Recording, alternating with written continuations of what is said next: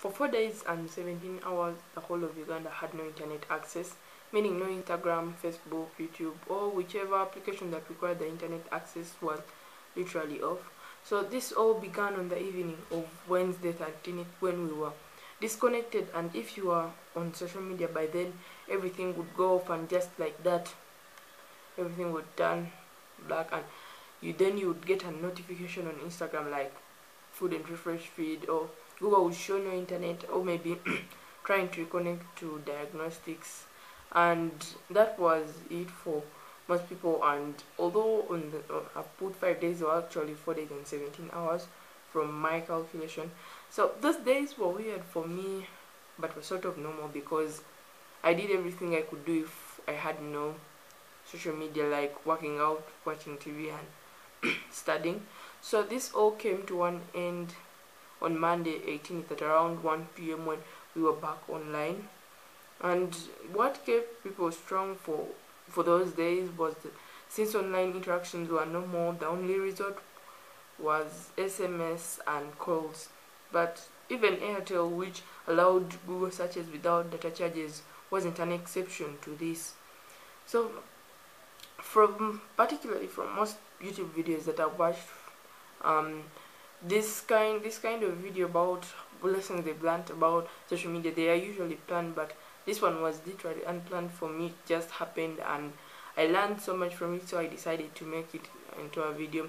And I hope you guys learned something from these lessons in particular and I'm going to share them right now. And when I was thinking on writing all these things I thought about whether social media was important or not or how could I make it much a much better experience for me to use. So sometimes becomes a distraction when we get obsessed with it.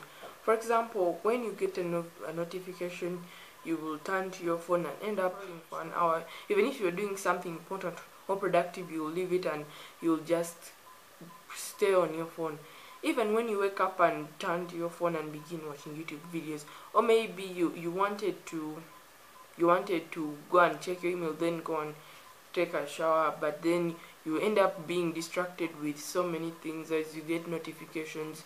And after maybe watching one YouTube video you will see another one and then tell yourself that I'll see it maybe for some few minutes which then turn into an hour and your morning ends up being wasted because after watching a, a video while you're scrolling you'll see another interesting video and you pick it out and then you begin watching it and you won't be able to stop yourself.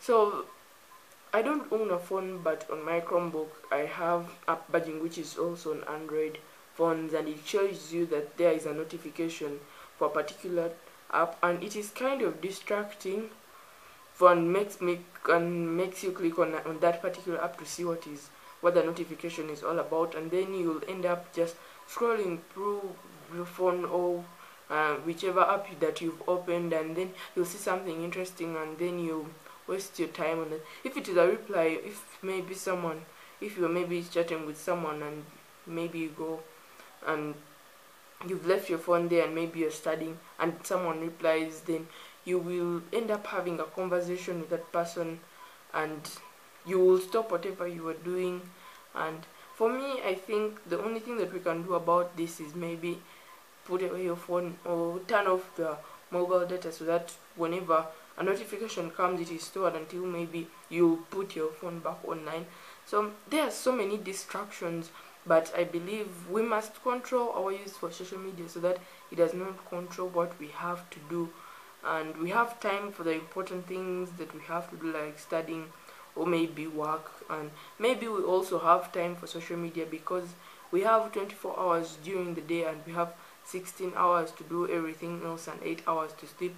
And in order to use all those 16 hours productively you must keep away this how I could make my decluttering process easier. I had already decluttered most of my clothes since I didn't own that much and it all came to one thing that I also had to declutter my social media too personally I hold on to very many emails.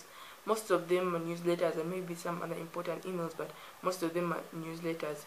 Um, these are some things that I hold the most and for me it was relatively easier to declutter the clothes and things like that because I didn't care so much about them.